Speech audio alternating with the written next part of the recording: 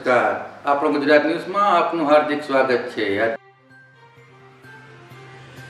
છેલ્લા ચોવીસ કલાક દરમિયાન દેશમાં પચાસ હજારથી વધુ કેસ નોંધાયા છે અને સાતસો સિત્તેર દર્દીઓના મૃત્યુ થયા છે.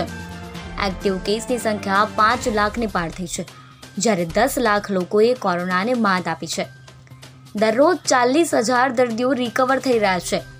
એક ઓગસ્ટથી અનલોક થ્રીમાં વધુ છૂટછાટ આપવામાં આવશે.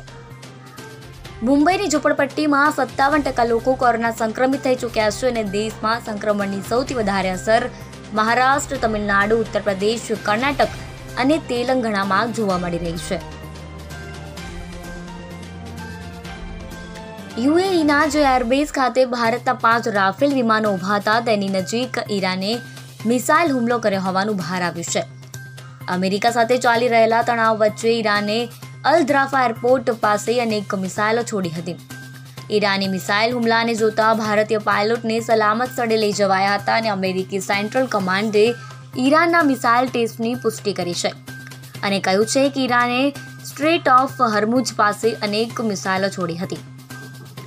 ઈરાનના અર્ધસૈનિક રિવોલ્યુશનરી ગાર્ડે ગઈકાલે વ્યૂહાત્મક રીતે મહત્વના હોર્મુજમાં નકલી વિમાન વાહક જહાજ પર હેલિકોપ્ટર થકી મિસાઇલ હુમલો કર્યો હતો.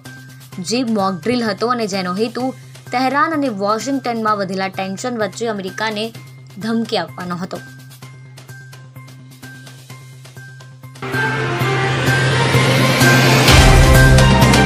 तो व्हाट्सएप ट्विटर फेसबुक इंस्टा जहाँ भी आपका अकाउंट है इसे शेयर बटन के द्वारा वहाँ पर शेयर करें